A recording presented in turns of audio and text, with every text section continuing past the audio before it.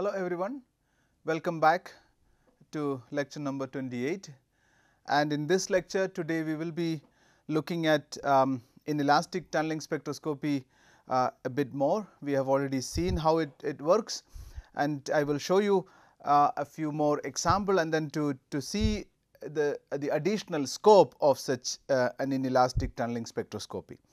And then we will move on to something called spin polarized scanning tunneling microscopy. So, with that kind of technology or uh, with, with, that kind of technique we can actually also resolve um, magnetic uh, property of surfaces and particularly if you are interested in looking at um, uh, islands that are or, or, materials that are magnetic in nature you can basically detect the magnetic um, density of state. So, that is something we will also have a look uh, uh, in that. So, with that I would uh, try to conclude the uh, tunneling microscopy part and let me just uh, show you an image of it is a it is again a scanning tunneling micrograph yeah an image an STM image of a molecule that is adsorbed on copper 111 surface. So, the molecule is um, nothing but ethylene.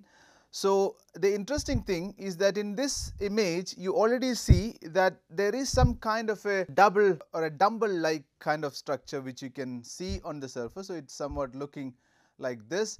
So, it, it gives you a feeling that it may be like something like you know two carbon attached to, to each other and something like that, but it is not very obvious what it is really is that.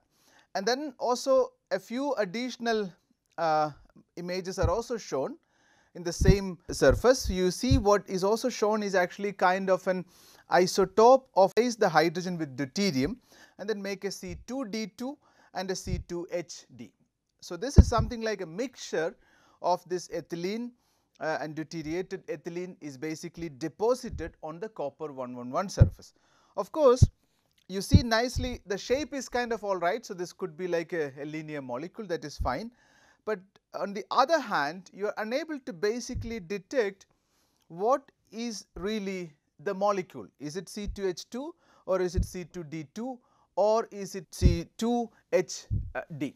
That is actually uh, a question. So, how can we actually just uh, do this um, to, to understand and kind of do a chemical uh, fingerprinting of the molecule.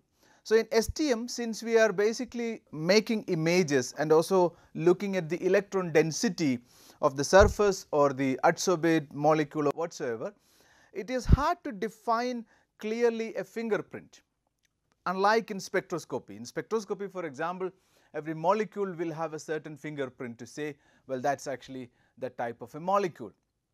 Uh, for example, with a vibrational spectroscopy you can clearly identify these three species nicely. So, that is possible. So, that is where this kind of uh, additional possibility like the inelastic tunneling spectroscopy is going to play an interesting role. Um, that is something we will basically just see in this. So, now what I am going to do is basically going to measure an IETS. So, that is actually the inelastic tunneling spectroscopy on all these molecules separately because we can do that that is the interesting thing about tunneling microscope you can place your tip just on top of the molecule and then you can basically measure the tunneling spectrum. But of course, here what we are measuring is the inelastic tunneling spectroscopy. So, of course, you do not need to do anything additional it is that in the normal tunneling spectroscopy you would directly find the signature for the inelastic tunneling itself. So, now what is the tunneling spectrum looks like? Well, just notice that here on the y axis I have something like the second derivative of current with respect to voltage. Because you remember in the previous class when I was discussing I told you like if you have an inelastic process that is happening and if there is some kind of an excitation or uh, if the energy is given for some kind of an inelastic process at the uh, interface then in the tunneling current you should be basically seeing some kind of a step like function. This is the current and this is the voltage. Yeah. Uh, this is the voltage. So, you should be normally seeing something like a symmetric step like feature with respect to 0. So, this is actually the 0. Uh, I am sorry for that. Uh, this is basically wrong. So, I have here the voltage and here the current. Yeah. So, at with respect to 0 voltage you would say basically a step kind of feature. But of course, it is a little bit hard to distinguish from the step.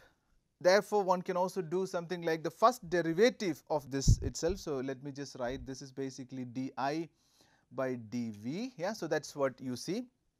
Now, I can take now the first derivative of that and the first derivative of this would give me something like a peak function. Yeah. So, that is just the derivative of the step. So, now uh, in the black one is nothing but the d square i by dV square. So, that is actually the second derivative of the current with respect to the voltage. So, that is also something very commonly you would find in the IETS, the inelastic tunneling spectroscopy because that is easy to distinguish the step rather than just looking at the first derivative. Yeah.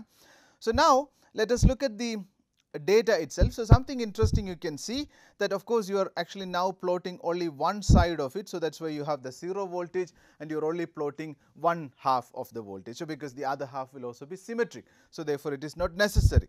So, now what is done in this particular um, paper is that they have performed a tunneling spectroscopy by placing the tip on all the three species yeah, and then have looked at the spectrum for example. And now you see something quite spectacular, something quite interesting that there is a peak and the peak position is basically changing for two species and then for one species there are two peaks and the two peaks are actually corresponding. So, this is actually corresponding and this is also corresponding. So, now with this kind of a correspondence people could actually just kind of think about what is actually going on at the interface. So, what is this inelastic process that you are actually just looking at? It is nothing but the CH stretching of the molecule.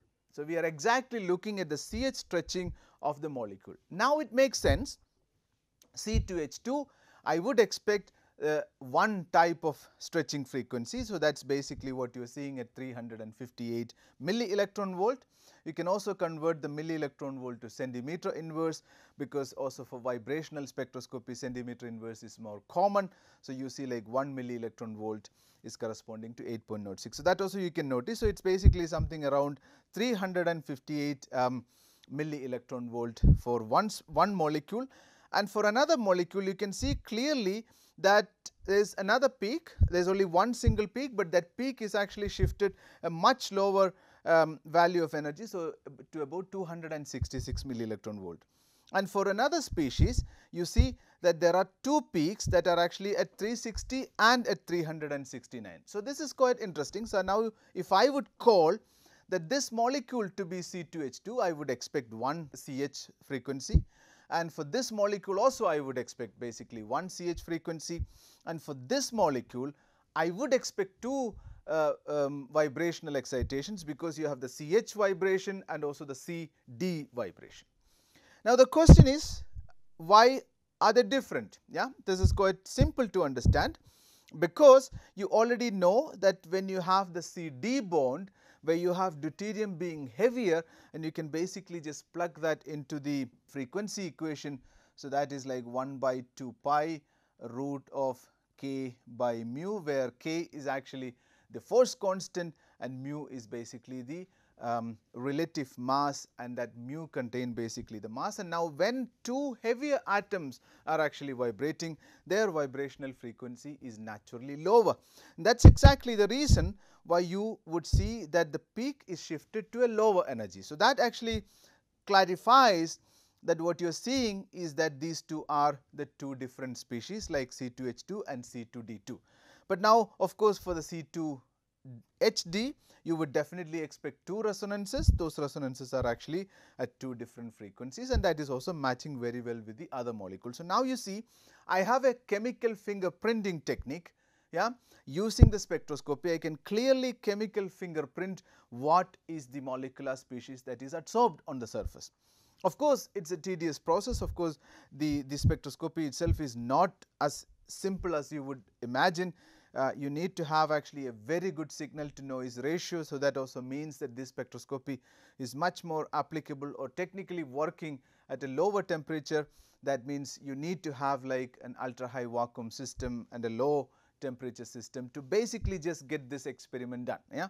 In the room temperature it is not that easy to find out the signal because I told you always that the amount of the tunneling the inelastic tunneling process is actually just very very low. It is actually lower than 1 percent for example. And because of this you would clearly find that this is uh, technically very difficult to do, but nonetheless if you can do you see clearly that there is this nice fingerprinting of the molecule. Now, there is also something interesting you can find. I have here a typical chart of the alkane CH stretching. Yeah. So, for different kind of uh, hydrocarbon I have given for alkane, alkene and alkyne and what we should have been expecting is basically an energy something in the order of 400 milli electron volt because you have the C2H2. Yeah. So, your ethylene is actually also expected to, to give a resonance at about 400 milli electron volt. But what is very striking is your ethylene is actually having a CH stretching at a much lower energy. So, the question is why is this? Is there something interesting we can learn from this? That is quite something interesting we can learn from this that the downshifting of the energy is clearly indicating that something is wrong with the molecule itself. Yeah, something is actually just different with the um, C, and also the CH bond itself. What should be different? It is a copper 111 surface as we have also discussed in the previous classes when molecule adsorb on surface they also kind of interact with the surface. It can actually be even a chemisorption which would even form a truly a bond. So, let us just assume that you have your copper 111 surface and your alkyne is basically just sitting on top of this surface. So, I have basically a C triple bond C, CH. So, this is basically what I would expect the molecule to be. But now the interesting thing is that the copper surface and the alkyne molecule is basically just interacting strongly with respect to each other. So, then what would happen is that there is actually a strong interaction between the carbon and the surface. Now, what would happen is now is something quite interesting. Now, you can see that the carbon atoms are actually just becoming a little heavier than the previous case because the carbon atoms are now connected to larger surface atoms. So, that actually makes them a little bit heavier to oscillate. So, that also makes actually the CH bond stretching frequency to be lowered um, by a certain magnitude. So, in fact, the magnitude of this shift with respect to an expectation value. So, this is about 400 milli electron volt you can see about 40 milli electron volt downshift is there which is actually something like corresponding to at least in the order of 50 to 60 uh, milli electron volt. So, that is uh, quite a lot yeah uh, sorry uh, to centimeter inverse. So, that is actually quite a lot. So, this actually indicating that that there is a strong interaction between the molecule and the surface. So, that is something what I want to, to predict here basically by looking at uh, this so called shift in the in the vibrational frequency of the CH bond, you can basically kind of predict what is going on at the interface or how strongly molecules are binding to the surface and so on.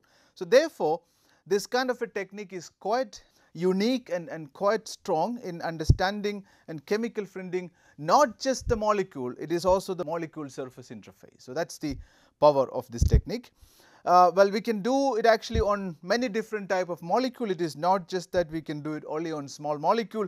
You see a variety of molecule has been tried and this is the same uh, literature. You can uh, have a look at it for more detail and you can basically just always scan the CH um, hydrogen uh, stretching frequency and you clearly see that the CH hydrogen uh, stretching frequency is different and by comparing it with a standard expectation value you can basically see how strongly these molecules are kind of interacting with the surface and, and so on. So, this is therefore quite striking. Well, but um, you also see that the background here is not so good. Yeah.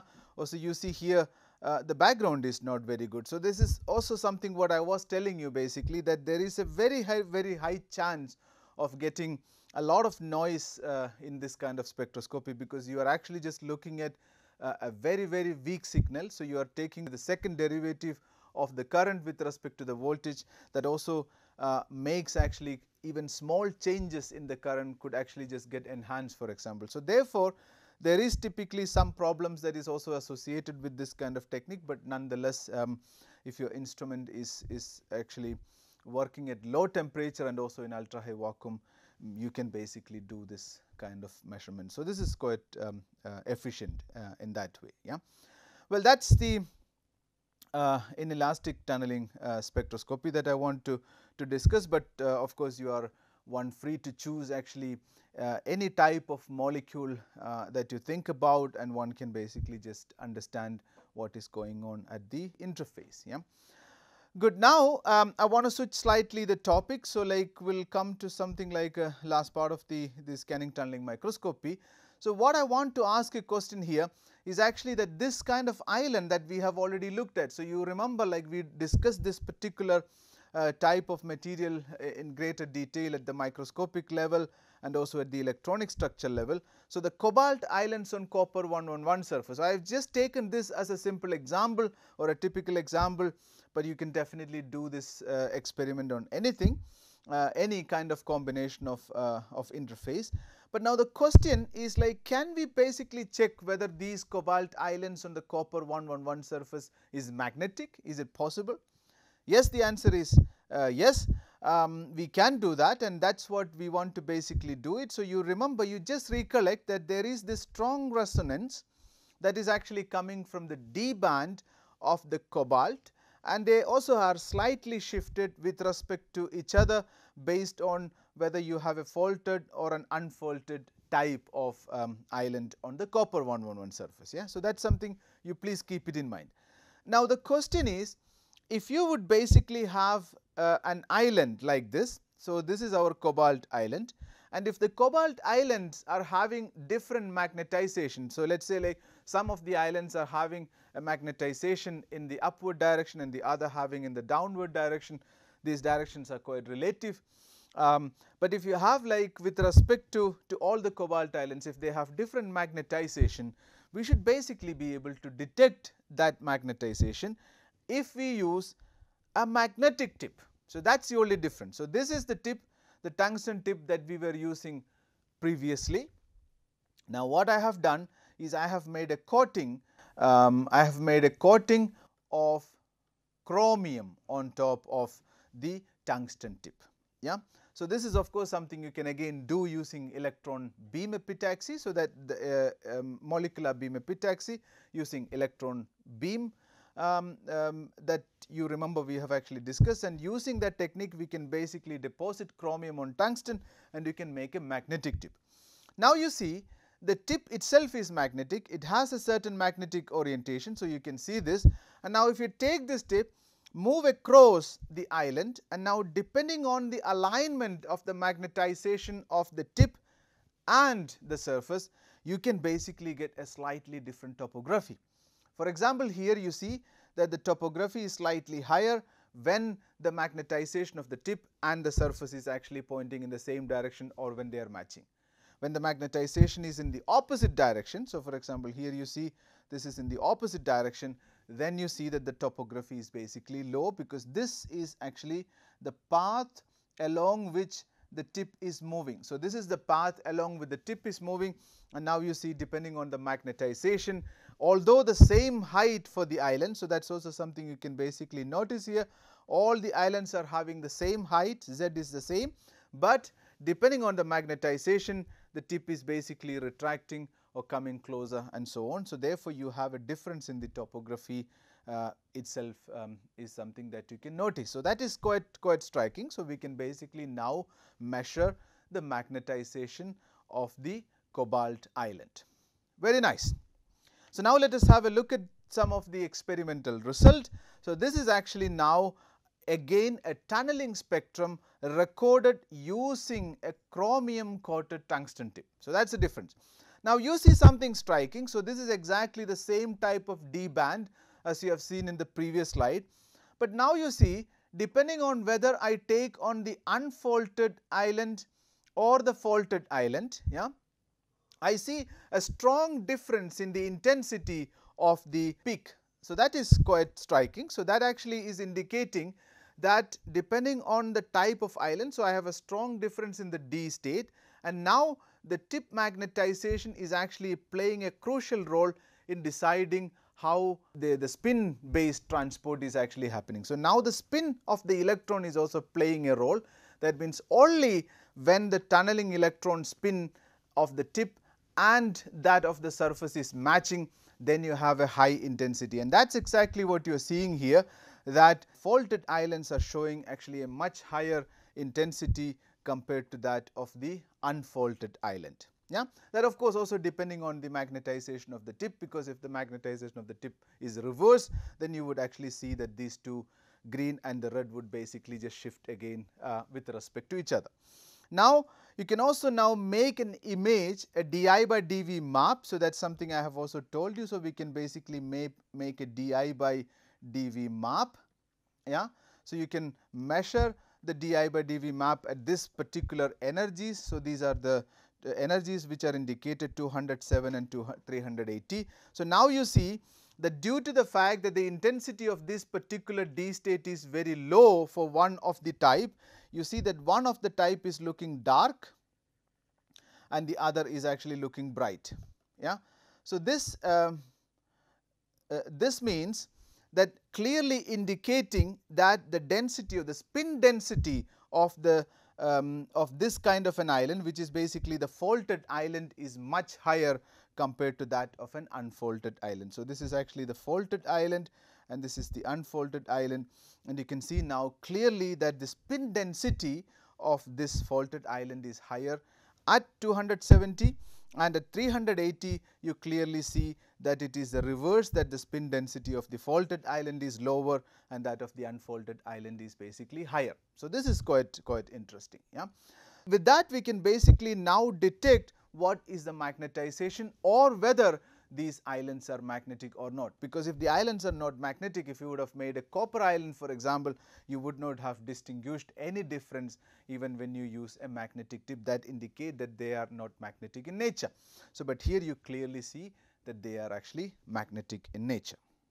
To do something with the, the spin density as I have told you. So, now this is basically the tip and this is basically the sample and I am now having a magnetic tip and a magnetic sample. So, that would means that now the uh, spin density the upper spin density and the lower spin density or the majority spin or the minority spin and the spin density of the tip and that of the uh, that of the material that you are looking at should basically match. So, in this case here when the tip and the sample magnetization are parallel. So, what is actually happening is that there is a strong overlap of you can see here there is a strong overlap of the uh, spin density. So, like here I am just indicating this as the down or the minority uh, charge carrier. So, they are basically just having a very strong overlap and also their uh, densities are actually overlapping strongly. So, therefore, I am expecting a very strong current in this case. But when the spin, the tip and the sample magnetization are anti-parallel, you can basically see that the overlap between the uh, minority spin of the tip and the sample is basically very very small and therefore, what we are expecting is actually a low current and here a high current.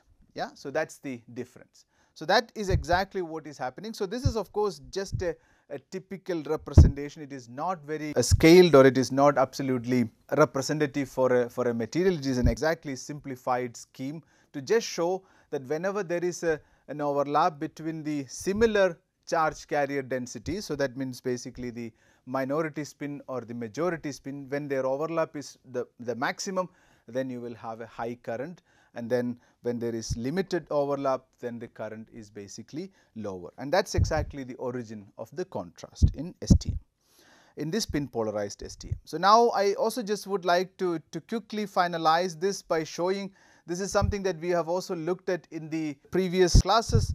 Uh, what I also want to show you here is that STM is also a technique not only just capable of working in ultra high vacuum or an ambient condition, it also can work actually in the solid liquid interface or in the liquid itself. So, what you do ideally is you take the surface of your interest and take a droplet of the liquid in which you want to scan and then you basically immerse the tip inside and then scan.